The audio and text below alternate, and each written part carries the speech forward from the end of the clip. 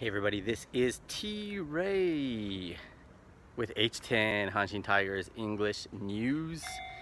Live from Japan, right in front of a crossing at the railway. That's right, the Hanshin Railway. And that's the reason that I am here is because some of you are from America, are in America, have not been to Japan, and maybe do not know what this country is all about. Well, this here is the Hanshin Railway and it's going to be a Hanshin train going by in just a little bit so you get to experience the magic. Anyways, um, so I live in this general area and I sometimes ride the Hanshin trains depending on where I need to go. If you want to go to Koshien, guess what you got to ride? That's right.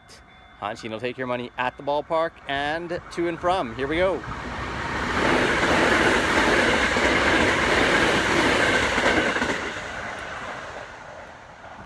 How'd you like that? Anyways, um, yeah, that is what it's all about. We ride the trains. They take our money on the trains. We go to the stadium.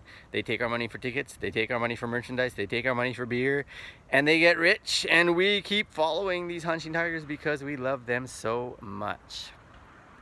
Let me explain a little bit on today's special vodcast about how I became a Hanshin Tigers fan and why I do what I do.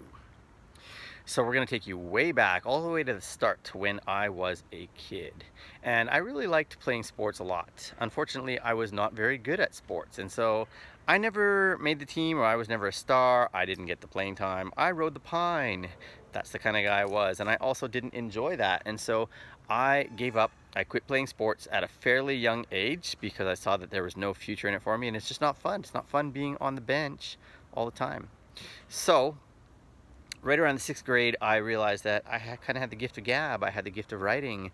I really liked analyzing sports, and so I started to dream of being a play-by-play -play color announcer, probably because I'm Canadian, for the Winnipeg Jets, my hometown hockey team, my favorite sport.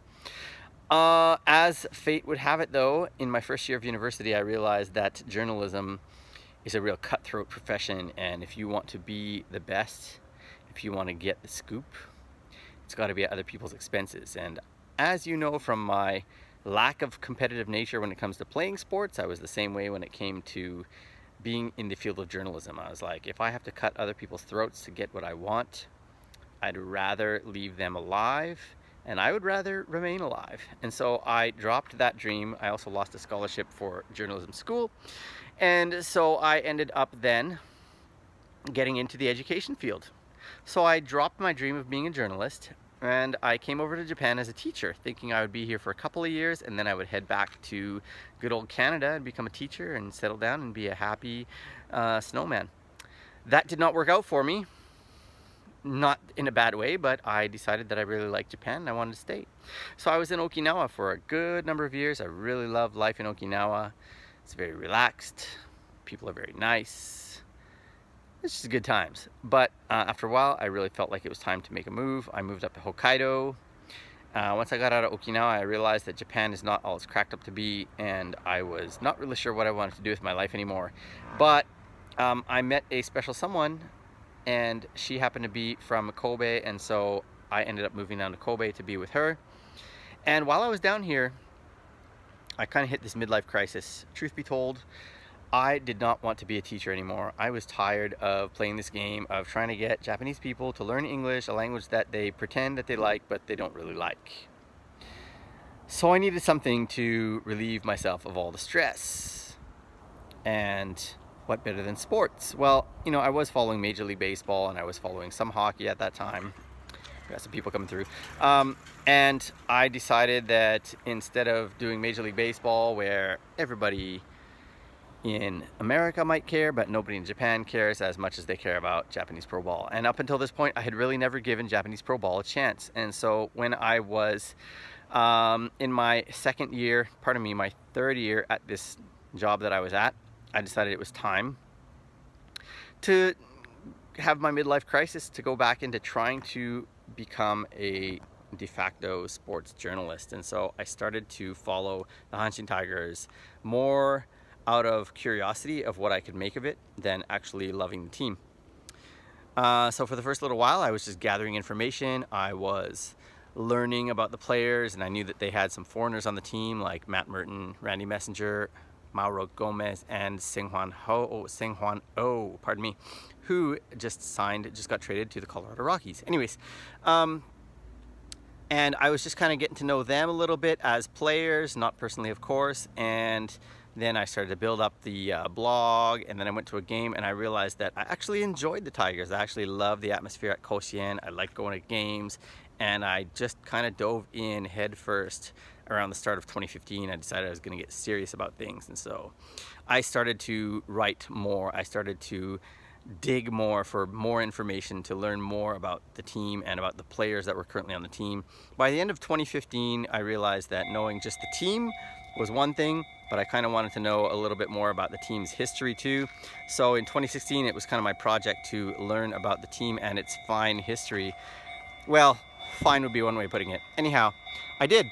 I studied, I learned, I liked the team even more after I learned about their history because it's quite an interesting one.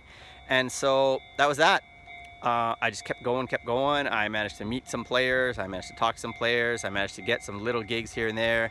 Get a little bit of quote unquote fame, although it's not like huge, but just, you know, get a couple of baseball related part-time jobs. And here I am now making a video for you. And here comes another train for you to enjoy. I think it's coming in slow because it's stopping at this station.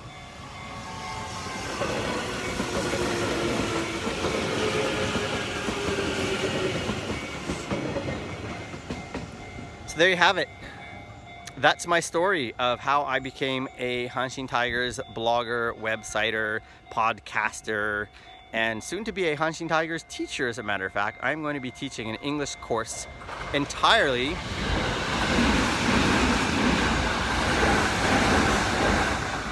entirely centered on the Hanshin Tigers. That is going to be the theme of the class. So it's going to be a pretty fun one. I'm going to be starting in the fall. Anyhow, um, if I haven't mentioned it yet, thank you so much for your support. Thank you so much for, uh, yeah, just following H-TEN and following the Hanshin Tigers. And hopefully 2018 is going to get better as of tonight, I hope. And if not, then, well, let's keep cheering for them because they're still the Hanshin Tigers. They are still this country's team. No, not the Yomiuri Giants. It's us. Anyways, that's going to be it for now. So I will catch you guys in a month with a different report. See ya.